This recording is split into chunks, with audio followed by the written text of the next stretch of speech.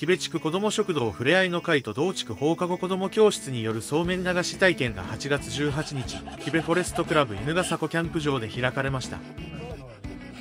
48人が参加し、夏の風物詩を満喫しました。夏休み中の子どもたちに体験の機会を設けようと昨年から同所で実施しています地区内の住民15人がスタッフとして子どもたちをサポートしました。キャンプ場を利用していた小学生も参加しました。造園業を営む稲田秀明さんらにそうめんを入れるお椀の作り方を教わり竹を長さ 8cm ほどになるようにノコギリで切ってサンドペーパーで仕上げました。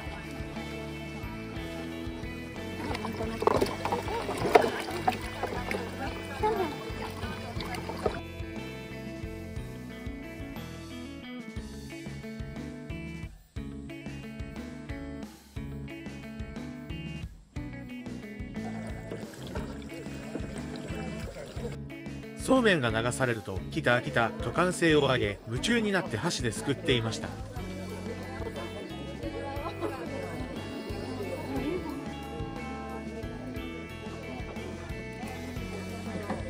トマト、うずらの卵、ぶどう、ゼリー、飴玉なども流れて大喜びでした。